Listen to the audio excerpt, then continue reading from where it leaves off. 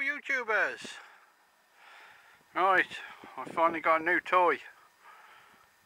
That's a Harrison M300 lathe which I've picked up and I'm just trying to um, figure out the best way of getting it in the shed. We pushed it, we've got a bit of a slope there look, and we pushed it up the hill with my quad bike and that worked out quite well. Uh, strip it all down and clean it and repaint it. Take the uh, cross slide and everything off and the gearbox, this gearbox apart and everything and make sure everything's okay. If everything feels fine, this hand wheel's a little bit sloppy and loose but um, just strip it down and I might see if I can find a new one of these plates because that's a bit mangled but apart from that she, she's a good one. So right, we've got to get it in there somehow. To go up this bit of a slope so right. This will be an ongoing project for a while so see you a bit later. Cheers for now. Alright, this is just for my own reference. This is the cut-off switch. It goes to that. It comes down here. Goes to earth. Goes to this red wire here. Which then goes to that contactor and goes to that contactor for whatever that's worth. This is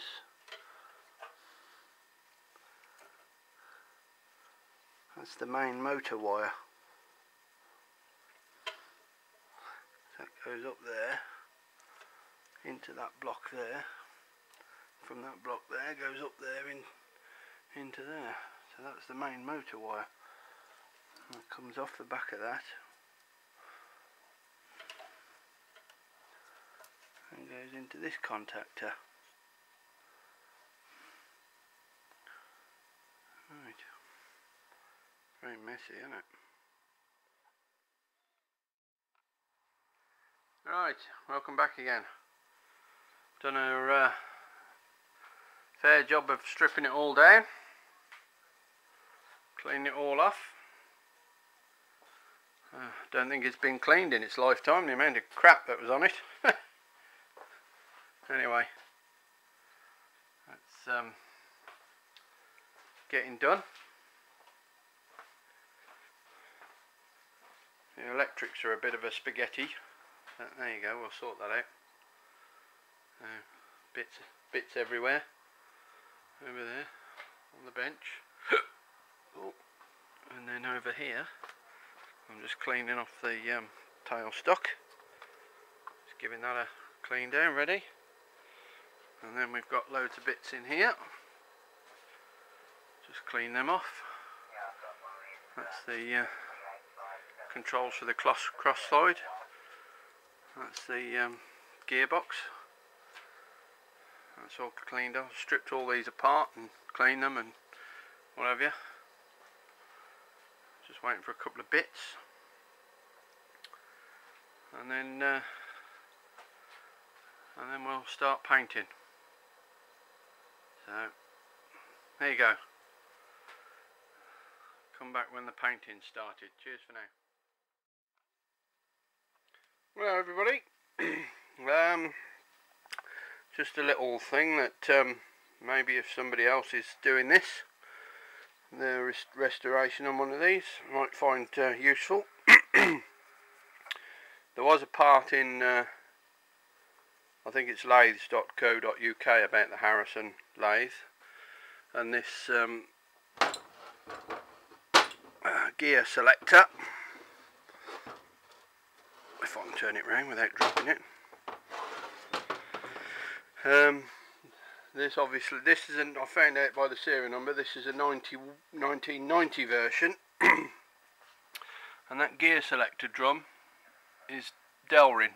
And that's one of the ones that they say is um, plays up and warps and makes it difficult to change gear. What I've done is took it out. I marked on there which um, one went because they're all separate parts.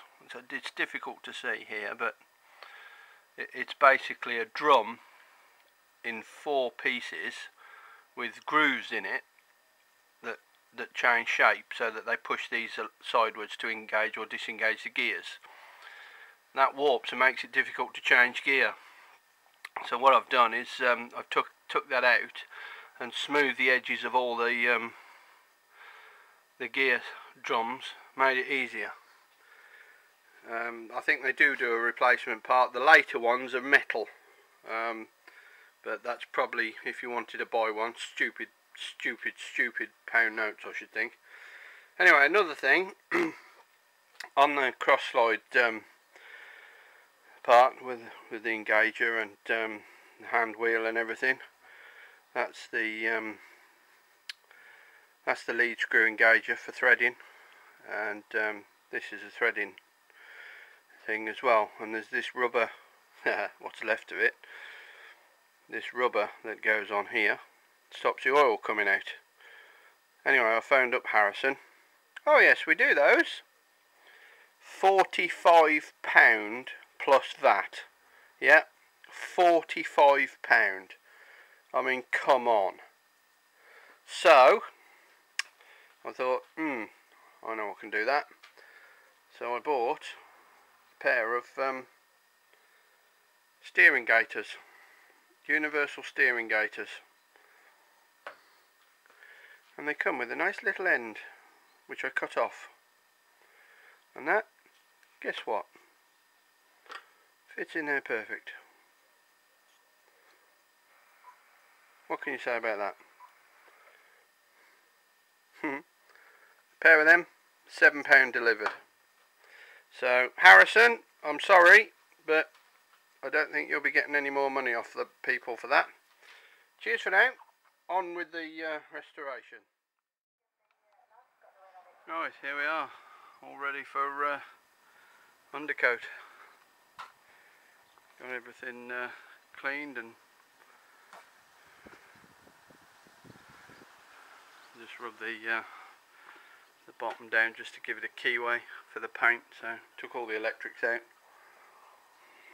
Uh, that's all ready to uh, to have its undercoat. So right we'll give it a give it a coat and uh, see you in a bit. Cheers for now. All right there's a couple of coats of primer.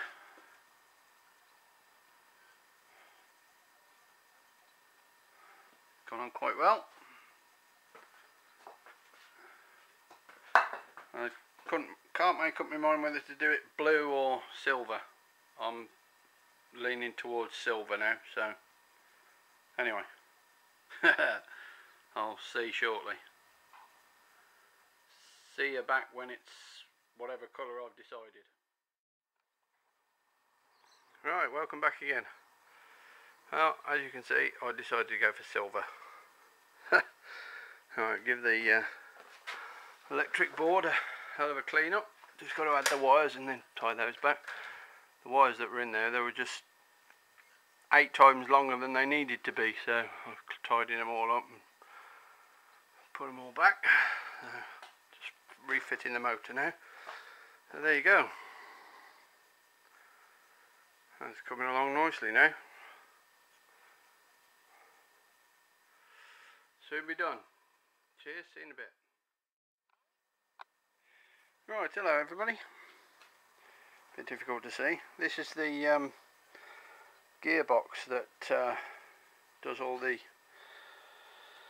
timing for the uh, threads well the, the gearbox itself is fine what the problem is the gear the, the selector on the front wouldn't turn and what I found out I found the guys up at Harrison spoke to uh, a couple of people one of the engineers who was very helpful um, basically according to lathes.co.uk they say there's a replacement part for these cams which is what selects the gears. Well, that's rubbish. Uh, apparently that's not so they've used these forever they're still using them um, it's just one of them things. But what happens apparently when this bolts to the lathe there's a gap here on the top. And what they do is they fill it with like a putty type solution. Um, and over time that can through cleaning and whatever that can get dislodged. And it allows if you use coolant on the lathe the coolant all runs everywhere and it down into this gap and it goes into this gearbox. Well when I emptied it originally there was all sorts of gunk in there. It was definitely wasn't oil. Well there was some oil but and what they say is the coolant has an effect on these plastic parts and it makes them swell very slightly. And, and we are talking very very slightly and consequently what happens is the gears the gear selector arms which sit in these grooves stick and they can't rotate properly. See there's a pin on the back of that? If you can see it. Sorry about the light. I'll try and get a there's a pin that rides in this groove. And what happens over time as you can see it's rubbing and it's it's literally sticking and rubbing as it tries to go round because they swell very very slightly. Same with that one there you can see and that one there rubbing. And consequently because it goes through just a, a little cam gear down there which you can't see because the light's terrible sorry. Let me see if I can get that. There you go it just goes on that little cam gear. There's the corresponding one. This is the shaft for it which is square. And then that turns. Well that's a little gear to turn such a big thing with everything on it especially when these are swollen up which jams them all up so. Right then what I'm going to do is I'm going to put them all back on here put them in the lathe get some sandpaper and very finely sand all these down so that it takes about a thou or so off hopefully freeing that up. We'll see how it goes. Right we'll, we'll be back when we're doing that. Cheers for now. Right hi guys and ladies. Um, just about back together now. Just finishing off. Right that um, cam gear that I was on about what I did is I did like I said I put it in the lathe and I took about a third of a millimetre. That's all. What's that? Millimetres 40 thou isn't it? Uh, so about 5 6 about 10 thou. About 10 thou off the outside. Complete outside of the um, plastic drums. Clean them all up. Put it all back together. And it works perfect. So there you go it worked better if it was turning as well but it all works um, works a hell of a lot better now. At least we can turn it round now. Only thing we've got to figure out now is what number means what. So I'll have to do a scratch pass pass put it on what I think uh, according to that and do a scratch pass and then measure it and then put the numbers to the corresponding pitch. So there you go the only thing I've got left to do now is um, power it up but I can't do that yet because I haven't got any uh, four phase three phase sorry. I've tidied up the uh, junction box. That was a right mess. Uh, there we go. So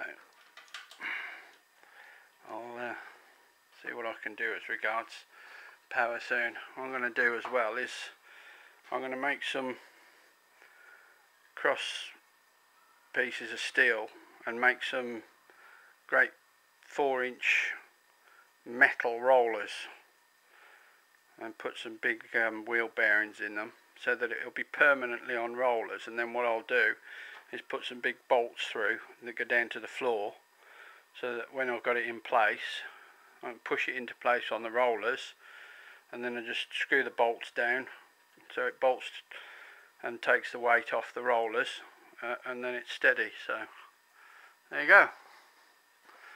All done. Just got to be uh, powered up. I'm looking forward to it now. So. Right there you go.